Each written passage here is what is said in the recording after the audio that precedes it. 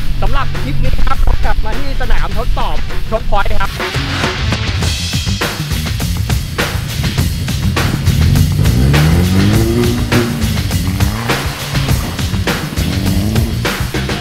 ต้องบอกเลยเมื่อคราวที่แล้วเรามาบุกป่าป่ากระโดงนะเฮ้ยเขาไปไหนวะเฮ้ยเขาไปไหนโอ้โหไม่กล้าเข้าไป เอาจริง ดูดิโอ้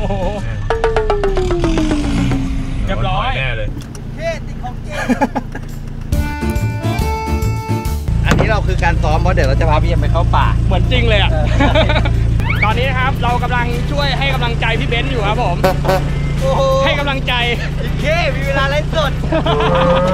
แล้วเดี๋ยวช็อตต่อไปเดี๋ยวจะให้พี่เอ็มลองขับเล่นดูครับครับขับ feeling off-road ไปเนี่ยครับพี่เอ็มอย่าล่วงเนินนะ อยู่กลางๆนะแบบ เฮ้ยเฮ้ยเฮ้ย ตะแคงแล้ว หายแล้ว อะไรวันนี้วันเนี้ยนี่ครับ แล้วตอนนี้ครับทีมกู้ชีพมาถึงแล้วครับ ก็จะมีทั้งรถแข่งจากทีมหนุ่ยเป๋อครับ แล้วก็ทีมงานจากโชคพอยต์ครับ ตอนนี้เนี่ยนักแข่งก็มาด้วยพี่พงษ์จากหนุ่ยเป๋อสุพรรณครับ ที่อ่าขับกีสุสุพรรณอยู่นะครับนี่ต้องบอกเลยตอนนี้มาช่วยกันเต็มเลยเพื่อที่เดี๋ยวจะกู้ชีพนี่นี่นี่ดูรถคันนี้ก่อนนะ ทำเป็นสถานที่ไว้ให้เราเนี่ยมาทดสอบกัน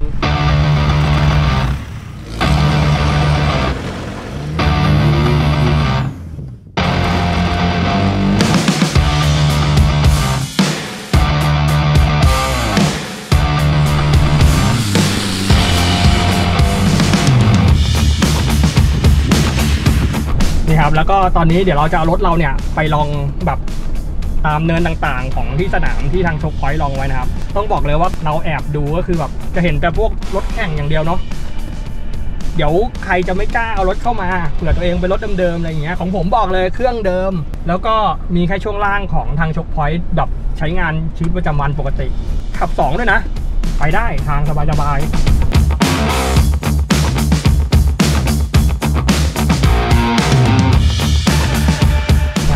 เนี่ยเรามาลองการขึ้นเนิน เพราะจริงๆอะเราเห็นแบบว่าดูจากภายนอกอะเนินเนินมันดูไม่สูงนะแต่พอเอาเข้าจริงเนินมันสูงอยู่นะ แล้วอย่างเนินพวกนี้เนี่ยมันเป็นการทดสอบเราได้เผื่อเราไปเจอแบบทางที่เวลาเราไปป่าไปเขาอะไรเงี้ยเราจะได้แก้ปัญหาเฉพาะหน้าได้ในกรณีที่แบบเวลาตอนขึ้นปุ๊บเฮ้ยมันมองไม่เห็น เราต้องเปลี่ยนเกียร์ยังไงอะไรอย่างเงี้ยอย่างเงี้ยครับ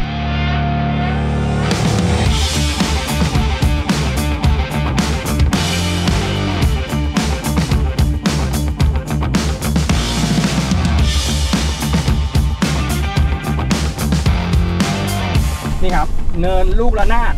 หรือถ้าเกิดว่าพวกนักแข่งก็จะเรียกเนินผีจีนนะครับ ถ้าเกิดว่าเป็นแบบออฟโรดโทฟี่เขาจะแบบว่าขับไปเร็วมากมันจะกระโดดบับบับบับบับบับบับอันนี้เราก็ผ่านไปได้แบบสบายๆนะ มีโอกาสเจอในชีวิตประจำวัน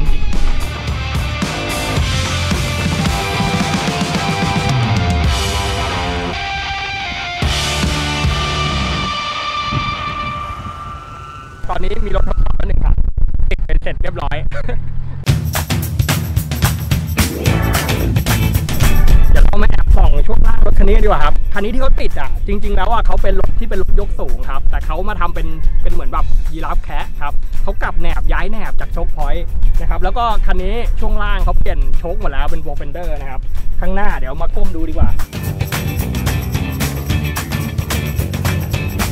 ข้างหน้าครับเขาเป็นโชคอ่าโปรเฟนเดอร์ตัวโมโนทูปซับแทงนะครับ ตัวปรับแปดข้างหน้าก็จะไม่มีอะไรมาก แล้วก็ตัวข้างหน้าเองเนี่ยเขาจะสามารถอ่าปรับโหลดโดยการปรับ strut ปรับเกลียวลงมาได้ แล้วก็ไฮไลท์เลยคือด้านหลังครับสำหรับคันนี้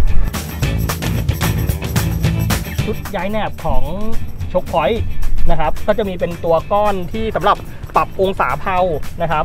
คือเวลาถอดตัวนี้ออกอะ่ะ ปกติถ้าเป็นบางที่เนี่ยจะต้องเชื่อมเพานะครับ แต่อันนี้เนี่ยเขาใช้เป็นตัวก้อนรองตัวเนี้ยเวลาที่เราต้องการที่จะย้ายกลับ เราสามารถเอาออกแล้วก็ย้ายกลับได้เลย อันนี้ไม่จะไม่ยุ่งยากแล้วก็ง่ายด้วยสะดวกสบาย แล้วก็โชคด้านหลังเขาใช้เป็นตัวพิกกี้แบทเป็นตัวเดียวของผมเลย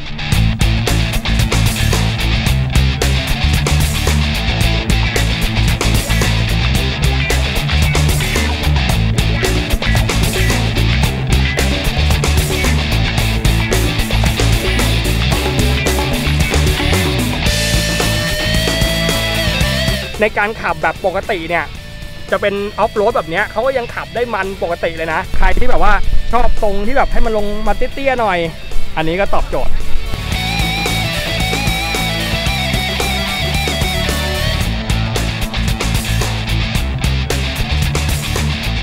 เดี๋ยวไปดูภาพตอนที่เขาขับมันๆกัน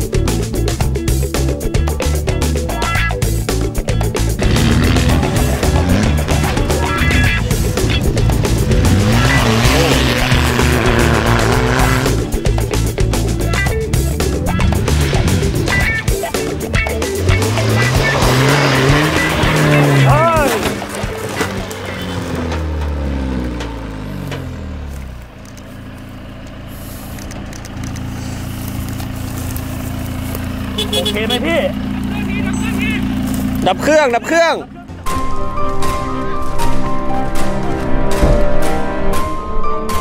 กระโดดตุ้มเดียวเลยนะ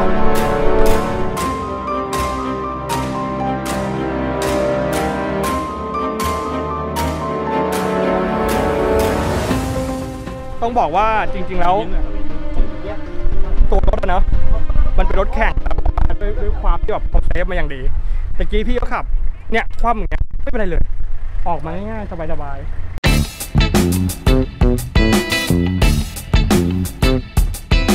ต้องบอกเลยว่าสำหรับ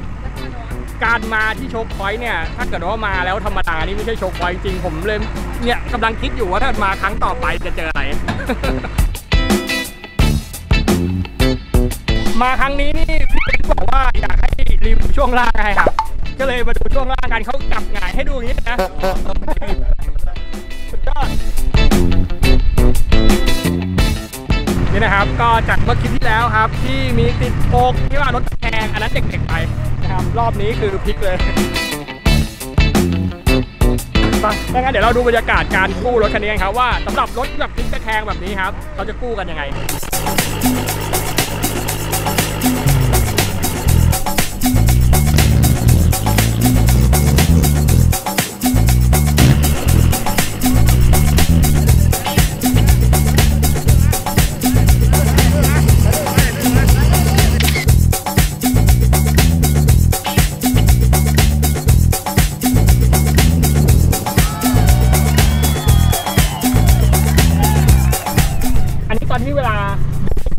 เอาดึงจากโลบาร์อะพี่เมื่อกี้นี้ใช่ครับดึงที่ roll bar ไปเลยครับเพราะ roll bar นี่มันน่าจะแข็งแรงกว่าจุดอื่นเนาะใช่ครับแข็งที่สุดแล้วนี่คือข้อดีของ roll bar เลยนะครับเนี่ยดูดิ roll bar ยังไม่ยุบเลยนะ roll bar แบบแทบไม่คดเลยอะแล้วก็คนขับตะกี้ก็ปีนออกมาปกติออกจากกระจกข้างฝั่งนู้นนี่ดูคนขับยังอารมณ์ดีอยู่นะเออ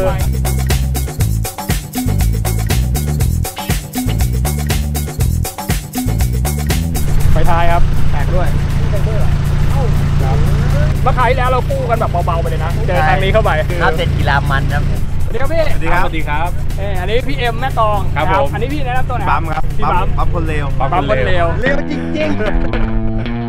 เป็นยังไงพี่ทำไมมันถึงแบบพลิกคว่ำขึ้นมาได้ ทดสอบช่วงล่างครับ ทดสอบช่วงล่างเจ้ารูป อ๋อพี่บังเป็นอย่างนี้อยู่อยู่แล้วครับเจ้ารูปตะกี้ใช้แบบกวาดถูสไลด์ไปเลยแล้ว อ่า แล้วก็เลี้ยงต่อเลยว้าเป็นไงฮะ เกินอ๋อ ก็ไม่คิดว่ามันจะคว่ำนะ เออ ถ้าเซเราก็เข้าโค้งปกติอย่างนี้อยู่แล้วไง ถ้าเซปกติ ก็เซต่อไปแล้วแล้วจะไม่อ่าเฮ้ยตุ่มตุ่มเลยดีกว่าเลยอ่าพี่เอ็มอย่างอย่างเวลารถมันเกิดปัญหาพี่อย่างพลิกคว่ำอย่างเงี้ยอย่างพี่บัมเนี่ยเขาไม่ตกใจ เร็วมากใช่ไม่ตกใจก็คือพี่บัมมีประสบการณ์เยอะ ครับ สิ่งแรกก็คือเขาต้องsave ตัวเขาก่อนครับ อย่างอุปกรณ์ในรถเนี่ยมันจะ save ตัวอยู่แล้วครับจะ save ตัวอย่างดี save ตัวคนขับ อ่า แต่อันเนี้ยมันเป็นการทดสอบอ่าทดสอบหน่อยก็คือแบบประมาณว่าจังหวะมันผิด อ่าแต่ในในในรถเนี่ยมันก็ยัง save ครับ ตัวคนไว้ อ่า แล้วก็พอคว่ำปุ๊บก็ดับเครื่องแล้วก็เอาตัวเขาแล้วเข้าชาร์จเลยอ่าก็อย่างตะกี้นี้ก็คือพี่เขาก็แบบดับเครื่องปุ๊บแล้วก็รีบออกมาใช่ครับเร็วมากออกมาเร็วมากใช่ครับแล้วคนที่อยู่ข้างนอกก็คือทีมก็คือต้องเข้าไปชาร์จตัวดูว่าพี่เขาเป็นอะไรบ้างอย่างเงี้ยครับแต่ที่ตีไม่ดูผมเลยนะดูรถอย่างเดียวใช่ๆเขามั่นใจไงว่าพี่อะเอาตัวรอดเอาตัวรอดได้ได้เป็นไงบ้างพี่ยังอยู่กับเขา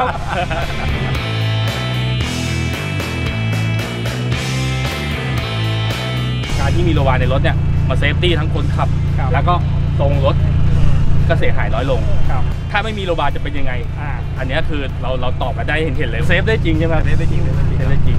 โรงพยาบาลทำที่ไหนได้ครับโรงพยาบาลโลวาทำที่ที่ผมก็ได้ครับเอ้ยปู่ชื่ออะไรครับปู่ชื่ออะไร อู่ช่างเอ็มครับ4คูณ4แม่กลองครับเอ้ย เพจอู่ช่างเอ็มแม่กลองครับอ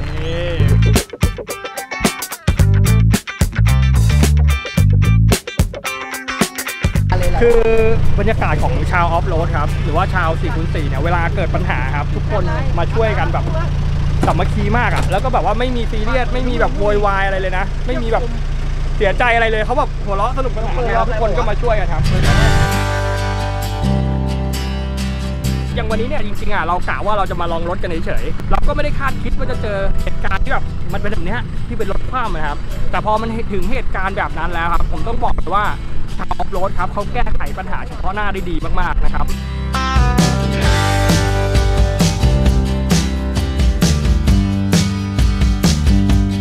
ไม่ว่าจะเป็นในเรื่องของอุปกรณ์ของตัวรถครับไอตัวเรื่องของความปลอดภัยนะ ในเรื่องของกันโค้งในเรื่องของ safety belt นะครับตัวเบาะเองนะครับ รวมถึง ในเรื่องของการช่วยเหลือกันนะครับก็ต้องมีอุปกรณ์ด้วยอย่างเช่น winch อย่างเมื่อกี้นะครับที่เขาใช้ลากรถขึ้นมานะครับ หรือว่าตัวเชือกตัวอะไรต่างๆครับที่ต้องมีแล้วที่สำคัญเลยครับ คือใจใจของคนครับที่เราเห็นเขาว่ามาช่วยเหลือกันแบบนี้ครับเขา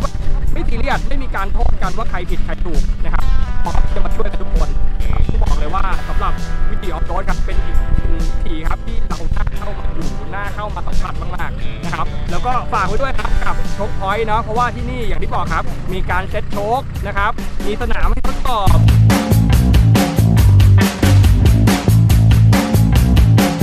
สำหรับคลิปนี้ครับฝากกดไลค์กดแชร์เป็นกำลังใจกันด้วยครับสำหรับคลิปต่อไปครับก็ฝากติดตามด้วยครับไปแล้วครับ สวัสดีครับ